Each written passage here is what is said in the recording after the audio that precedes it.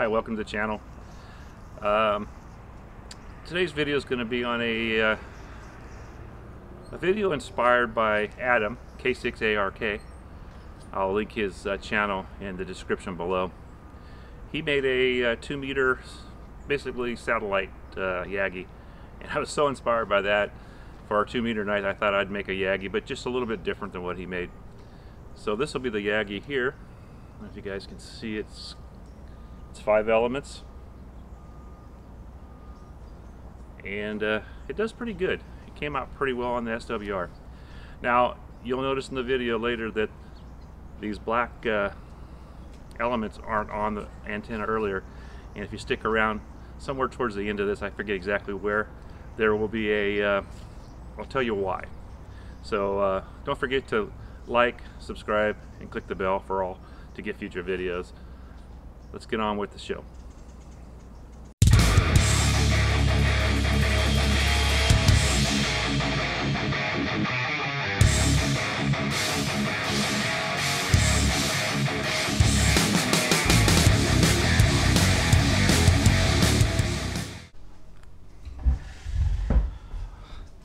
Yeah, hopefully my wife doesn't watch this and sees me working in here. I'm not doing anything dangerous on her stuff though.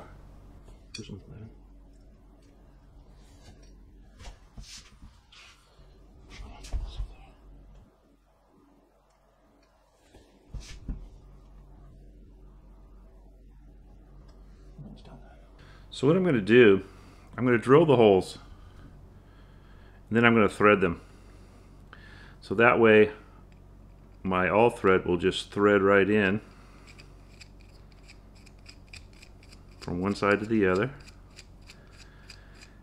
I may or may not, I might use some blue Loctite on that just to keep them there. I don't have to. The only advantage to not doing is I can take it down even thinner um, width-wise. Take this two inches out of there. I think it's two and a half inches across there, and uh, that would at least that would. Uh,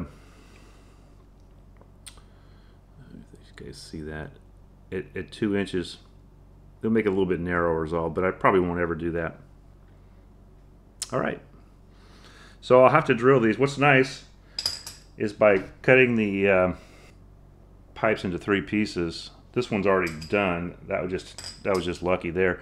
But the other ones are shorter, and I've got a little two by three, I think it is, that I've got a V notch in that I will attach this to, and that'll help me get a nice straight hole through. So, uh, and then I can line them by being two pieces. If I get this one has three on, if I get those three lined up right, the other two are only one, and I can I can make them fit by uh, adjusting the boom.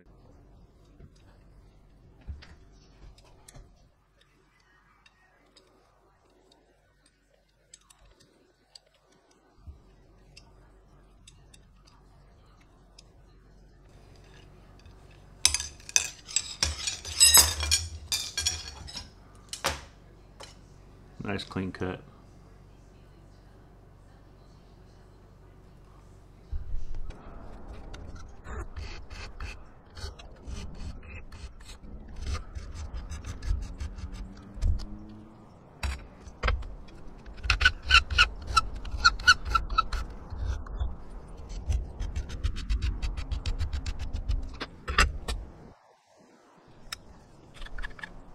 Okay, what we're looking to do here is if you look at this,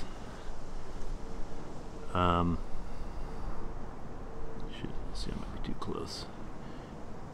If you look at this, I want to get all the paint off this edge because it has to make contact. This is everything but the uh, but the driven unit.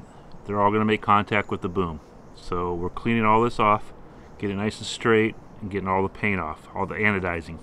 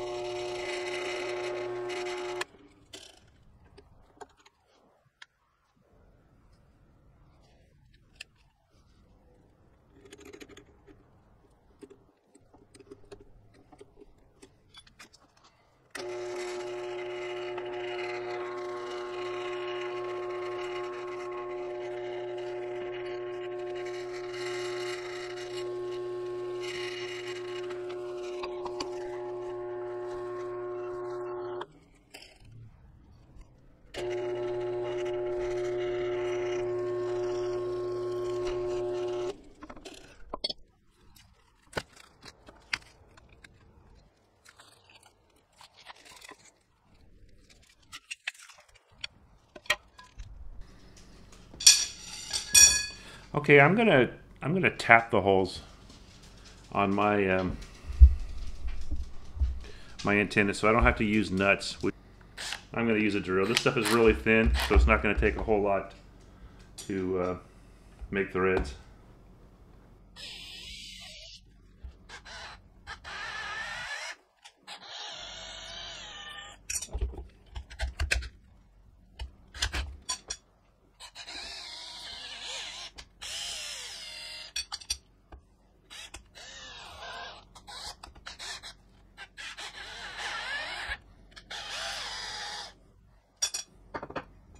Now we can take our all thread. Okay, so now you just thread them through.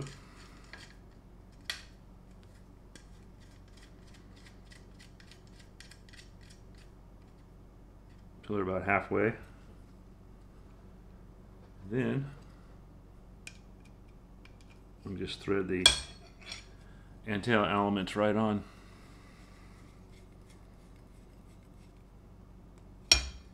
Tightens right up. All right. All right, now I'm pointed down here towards Martinez. Uh, how you doing in that uh, portable? All right, doing good. I've got a uh, homemade uh, five-element Yagi I just got through putting together. It's uh, kind of for portable use for backpacking. Well, you're making it all the way to South Sacramento. I'm running a four-element quad on a 22-foot pole, and I got a 5SS5 on you. Eagle, Capri. QRZ, anybody have frequency tonight? Kilo Echo 6, Quebec Romeo. Uh, the... Yeah, KK6USY. And KK6USY, great signal into Vallejo, Charlie Mike 88. Just D on the other side of the switch. Just move it from one side of the switch to the other. Wow, he just popped in there all of a sudden. Roger that. KE6QR177 is here, and KK6USY is setting up portable up on top of the hill in the freezing cold, so we need to get him in there right away. It's KK6USY. Roger that. I'm wondering how it was doing to you. Where are you located? I'm in the hills above Placerville, and you're hitting me with a good solid uh, S6. Clean, no problems. Oh, up on the hill. Hi, this is Kilo Papa 4 Mike Delta Mobile. And I'm crawling along the floor of the valley here. I'm uh, in Citrus Heights. And you are pounding in 30 over S9. Name here is Carol. N6TAR in El Dorado. In City. Alpha Julia 6, Quebec X-ray. Nice. Working good. We're in Manteca, WA6KTK. More I drive, uh, you're full quieting here at Lodi Lake in Lodi, 86SSN. Still uh, North Texas right now. Oh, nice. Uh, Lodi, that's a pretty good little hop there. I'm uh, up past Pollock Pines at a above Union Valley Reservoir, looking down on it at a lookout, uh, like a fire a fire lookout. Yeah, you're on Big Hill, bud. I'm getting you with that. You're getting me with that. That's cool. I heard a guy in there from Manteca just before me. Yeah, yeah, you guys are all really loud. How's the snow up there? The snow here melted. I was here two weeks ago and there was like six inches and it's gone right now. Okay, yeah, I was there a couple weeks ago also and there was uh, there's a little snow on the ground, so that's good. Get my car up there anyway. W1FRD, it's Fred here in Fairfield. I just got parked in the parking lot here. Which guy, me and Manteca, WA6KTK. How'd you copy on me? W1RD, I believe it was. Uh, I can copy you great now. Uh, you're coming in good. Uh, over to KK6USY.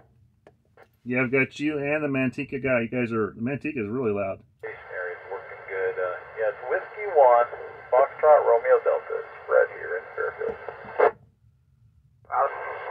AJ6QX Lincoln. Over S9 here uh, in Manteca, the guy up on Big Hill there. WA6KTK. It's a little homemade uh, Yagi. It's made for backpacking. It's got half inch uh, tubing for the uh, for the boom and uses arrows for the elements. Yeah, that's awesome. It's working, buddy. You could sell that thing, make some money. Chuck, I can't believe I didn't uh, figure that out. Uh, yeah, this is Fred. We uh, talk on on YouTube. You know, did that uh, that rotor thing. I bought the motor. Yeah, that's who I am. Yeah, Fred. Now I, got- I know who you are for sure. I Chuck this N6 CAR. Yeah, I've been watching your uh, your videos, and uh, you're kind of a bad influence on me now. I've got a, uh, I'm starting to build a Yagi myself. Kind of inspired me, so I appreciate the work you're doing. Uh, definitely, the videos are helping. So, good job. Keep it up. I'm at about six thousand feet. And I'm I'm running 50 watts right now. Well, you're every bit of 60, o- 60 dB over antenna melting horsepower there. All right, now I'm down to 10 watts. Is that uh, not melting your antenna now? Well, now you're down- only down to 45 dB over. Have a good day. Full on signs. K6DJB down in American Canyon. Oh, is that Derek? Yes, it is. I'm using my little uh, rotor to dial you guys in. Oh, you want to? Okay, swing it around this way. Wait, who am I talking to? Uh, this is Chuck, KK6USY. Oh, hello there, Chuck. Yes. Just, uh, there was a nice opening on 10 meters, so we were horsing around over there and then came back here. Yeah, I'm not really sure. I just I was just doing a little video on a little Yagi I built for like backpacking and stuff. Oh, very nice. Okay, yep. I can't wait to see that. Uh, next Monday. Um, tonight's is a Moxon, or tom tomorrow night or Monday night. Oh, very nice. Okay. That sounds cool. Yep, I look forward to those videos. Well, I hope you enjoyed the video. After watching the footage, I didn't put anything in about why I changed those uh, those elements. Um, what I found out is they have uh, in the video I showed you how I was I was uh, taking the uh, the paint off the ends of the elements so they would make contact with the uh, with the boom. Well, what happened is under higher wattage, it really wasn't making a very good contact. So, and those had plastic inserts. So I'm not going to link those arrows. What I'd have you do is go to Adam's video, and I'll try to link his video down below also, and use the stuff that he used for that reason. Now, Adam being the nice guy, he is going to send me some inserts to fix my original arrows. The one that I, the black ones are actually a little on the short side. They're for a different antenna. So hopefully you uh, enjoyed today's show and got something got something from it. If you did, hit that like button. Subscribe if you're new here, and uh, hit the all button to get future videos. This is Chuck, KK6USY, for Ham Radio Adventures. Thanks for watching. 73.